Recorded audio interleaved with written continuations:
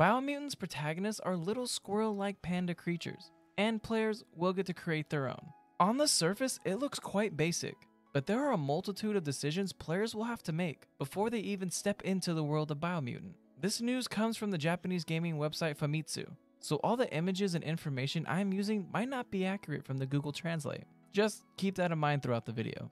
Deciding the race of your little squirrel is the first decision you will make.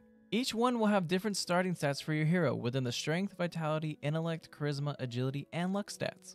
Unfortunately, these pictures don't show the stats of each race, so we have to go by the description to figure it out. There are six choices. Primal. I know this image says Brimar, but the article is Primal. Primal is an anthropomorphic species that develops agility. It is inferior in the development of wisdom as a substitute for that. There were no pictures of Rex and Fip, but apparently both specialize in the intelligence stat. So I would assume they lack strength and maybe agility as well. Margil is present to manifest the kind of communication of the ideal, that evolutionary system we have made progress in a direction where farm and appearance prevail over function. I have no idea what that means, but the article says Margil is balanced in all stats, but offers excellent charisma and bargaining power. So maybe not the quickest or strongest, but uses items and crafting weapons as a main playstyle potentially. Hyra is an anthropomorphic species that has the ability to reproduce. I'm gonna tell you, it is extremely robust and has high recovery power. Hyra will be for the tough squirrel players out there that want more HP. Finally, we have from the article Damdons. I know what you see in the image though. Damdons is the first anthropomorphic species in terms of development. The seed derived from the mating is lack of spiritual power by physical strength.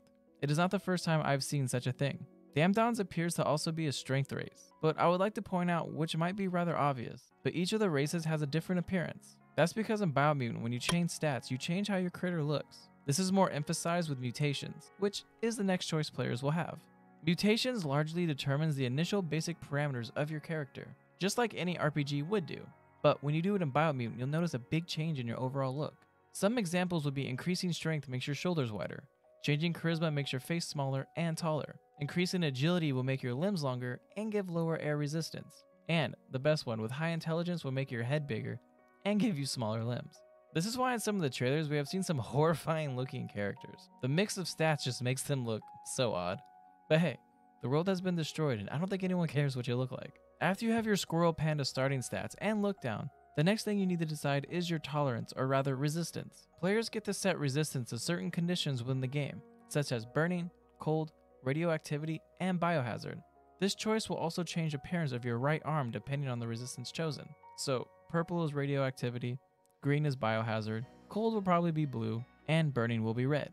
The next section is self-explanatory. It's the fur color and pattern. We don't see all the options, but we do see that there are tons of zany colors and patterns in Biomutant. If this was a multiplayer game, the world would be filled with some of the craziest characters probably ever created.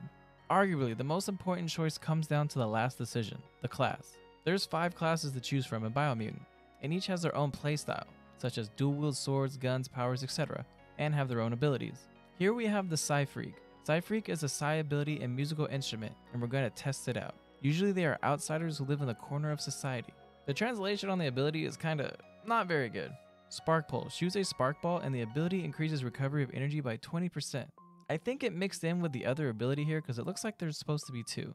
So I'm gonna guess one shoots a lightning ball out and the other ability might increase the regen of your mana. I personally can't resist powers in a game, so I might start with the Psi Freak first. Deadeye chose to live without being subject to laws and social norms. He is a man of skill and skill. Crackshot, a non-automatic rifle attack that causes damage. The rest is cut off by the perfect reload ability, where your magazine is instantly reloaded and the next magazine increases damage by 20%. I think this could be a sniper-esque type of class. Up next is the goofy looking sentinel. The description literally makes no sense, but the ability of toughness increases armor by 10. And I'm gonna have to say, this is probably a race that you're gonna wanna use if you like using one-hand melee weapons, but I'm just guessing. The supporters, or saboteur as it is in the article, were trained in covert operations in both the suburbs and the wilderness. They are experts in the field. And you know, those covert ops in the suburbs must have been crazy. But the Saboteur is cool because it has twin sais, kind of like from Teenage Mutant Ninja Turtles, which would probably make it my second choice just because of that.